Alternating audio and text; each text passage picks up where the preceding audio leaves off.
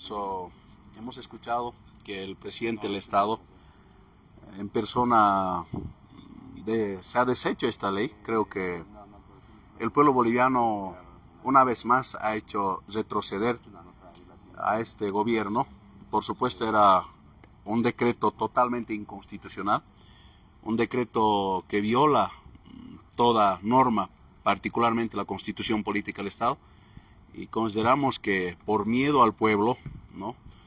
porque estaba mintiendo, engañando al pueblo boliviano y por, por no informar, por no decir la verdad, el gobierno, hace horas atrás, recalco, eh, decidió una vez más retroceder en este tema y creo que eso para nosotros no es suficiente.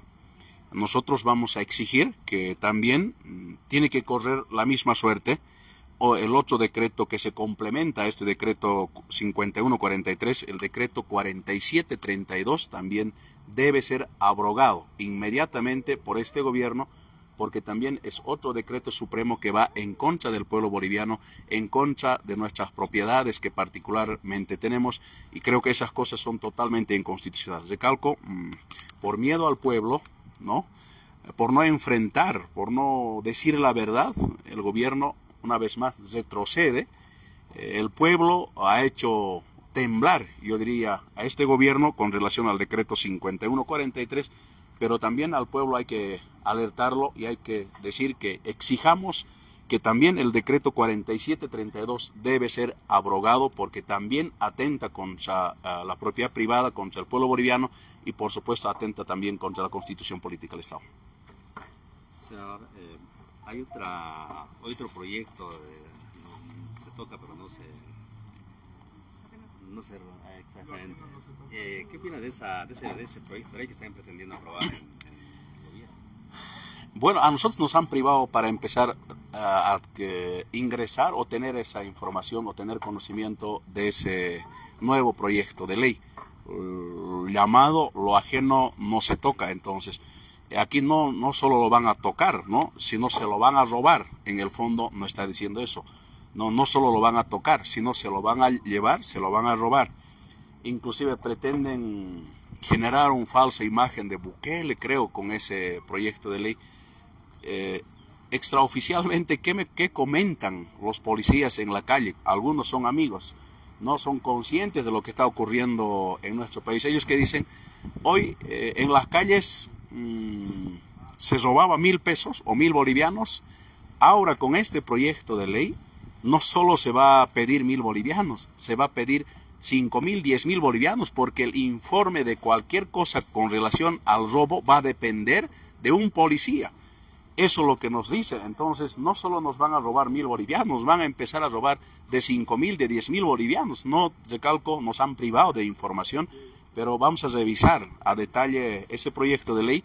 Entonces, de un robo no podemos pasar a otro robo, así que ojalá el ministro, el gobierno nos pase inmediatamente la información y tener conocimiento. Yo estoy bien sorprendido. Los policías extramente nos dicen se robaba mil bolivianos, ahora con esta ley vamos, se va a robar más de cinco mil, diez mil bolivianos, porque va a depender de ellos que hagan los informes que correspondan. Así que no podemos pasar de un robo a otro robo. Ese es un tema muy grave y recalco nosotros como senadores vamos a revisar a, minuciosamente, detalladamente ese proyecto de ley que el gobierno está intentando uh, imponer, en este caso en nuestro país. Senador, las cárceles están en condiciones de recibir más reos. Eh...